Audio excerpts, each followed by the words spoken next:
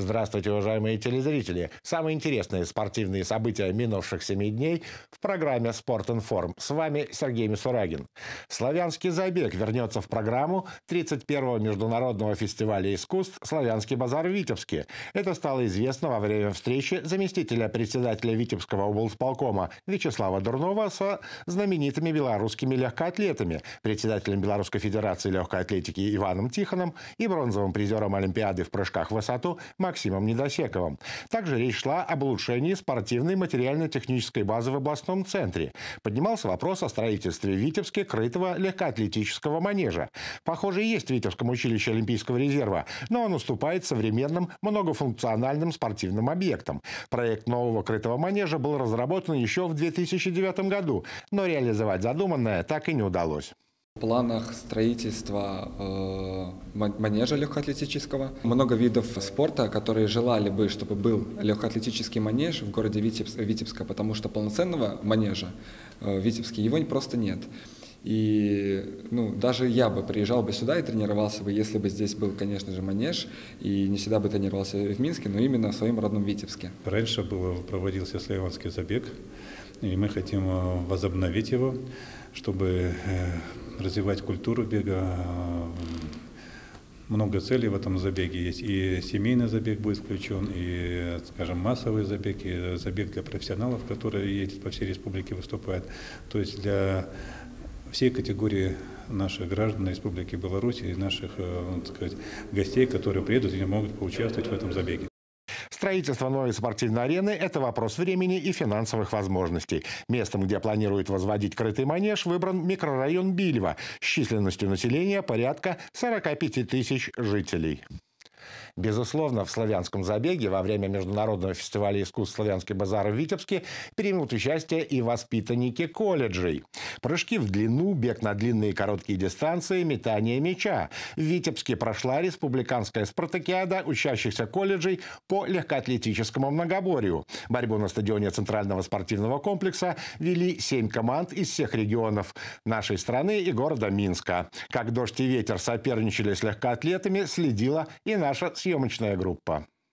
Республиканская спартакиада среди учащихся среднеспециальных учебных заведений Беларуси проводится по шести видам спорта. В течение года воспитанники колледжа оспаривают лидерство в волейбольном, баскетбольном и мини-футбольном турнирах. Выясняют сильнейших в соревнованиях по настольному теннису, легкоатлетическому многоборью и кроссу. Кстати, в последней дисциплине наши земляки опередили в этом году конкурентов ну, достойный результат. Вот буквально два дня назад завершили соревнования по легкоатлетическому кроссу, тоже вот среди учащихся данной категории, где команда нашей области заняла первое место. И мы надеемся, что и сегодня, сегодня и завтра также результат будет неплохим.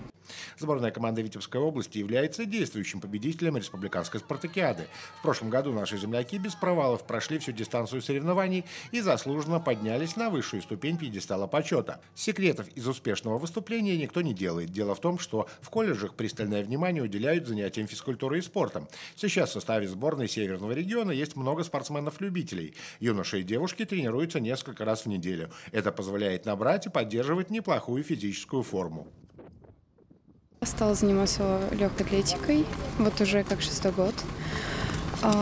Занимаюсь так, легкой атлетикой, дистанции 1000, 2000, 800. Была два раза победительницей Витебской области по легкой атлетике на 800 метров. Тренировки каждый день. В команду попала, так как меня увидели мои способности спортивные, так и попала. Занимаюсь в свое удовольствие, просто нравится бегать. Ну, и трени... ну, типа, в неделю три тренировки лучшие результаты на 30-100 метров. Легкоатлетическое многоборье – один из интенсивных видов спартакиады. Проходит в течение двух дней. Вначале участники бегут 100-метровку, прыгают в длину и бросают мяч. На следующий день легкоатлетов ждут забеги на длинные дистанции. По сумме всех результатов и определяют победителя. А для организаторов эти старты стали хорошей репетицией в преддверии крупных соревнований, которые скоро примет Витебщина. Здесь пройдет и республиканская спартакиада школьников по 21 виду спорта. В соревнованиях примут участие команды из всех областей Беларуси и Российской Федерации. В Витебске завершился открытый областной турнир по тяжелой атлетике памяти заслуженного мастера спорта СССР Николая Костылева. На этот раз борьбу на помосте вели только спортсмены Северного региона, к чему готовились атлеты в нашем следующем материале.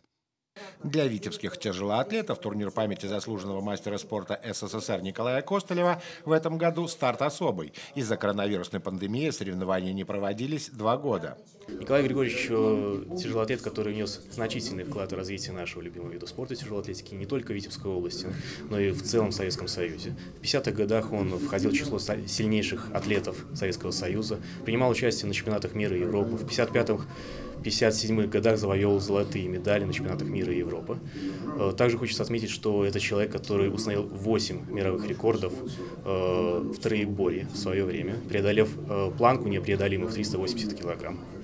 Отечественные спортсмены из-за политических амбиций западных спортивных федераций отлучены от международных соревнований, но тренировочный процесс не останавливают. Акцент делается на проведении внутренних стартов. Таким образом, турнир памяти Николая Костылева совпал по времени с проведением подобных спортивных форумов в других областях страны. В результате лидерства в областном центре оспаривали только представители Витебской области. Впереди у наших земляков республиканская спартакиада школьников и чемпионат Республики Беларусь. Это у нас предпоследнее соревнование, вот, турнир Костолева.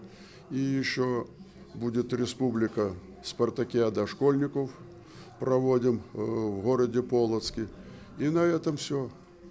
И все наши мероприятия в этом году заканчиваются. И в сентябре только будет чемпионат республики.